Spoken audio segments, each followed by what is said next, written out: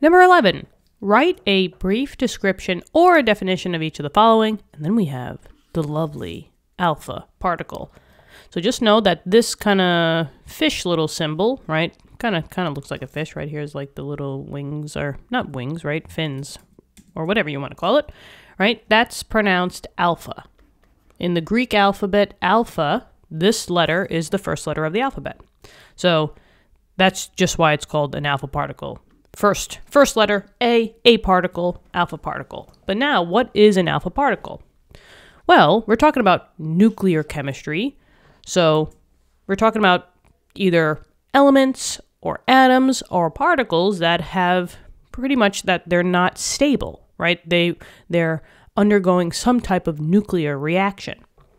So, an alpha particle, since it's on the end of, you know, nuclear chemistry, these are stuff that have high amounts of energy. So an alpha particle is a particle that has high or a lot amounts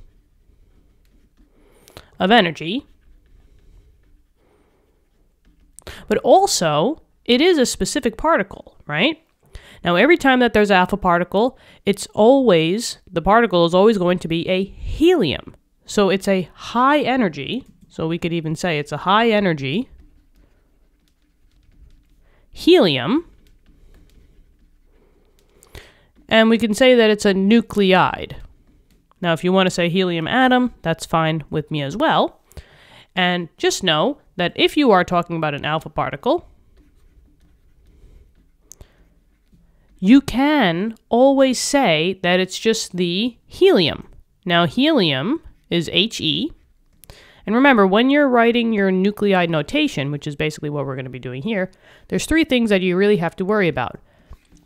Is the element or the particle, in this case alpha is always helium, and then you need a number on the top and you need a number on the bottom. The top number is always going to be your atomic mass. The bottom number is always going to be your atomic number. And remember that the atomic number for any element, helium is no exception, is always going to be unique for that specific atom. And if we look on the periodic table, helium has a atomic number always of 2.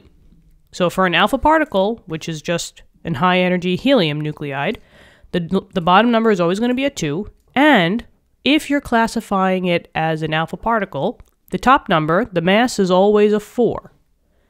So, if you did want to find out the number of neutrons, you have two protons, the whole nucleus is 4. So, 4 minus 2, the leftover, is the, nu- the neutrons. So, you have two neutrons. You've got two protons and two neutrons, which make up the total atomic mass of 4.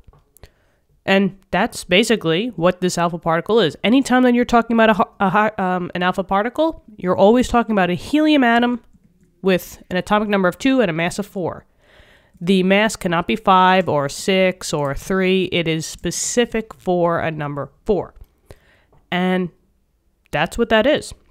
So sometimes um, you'll see that some particles are just elements. And an alpha particle is one of them. It's just a helium. Four on the top, two on the bottom. And that's it. I hope this helped.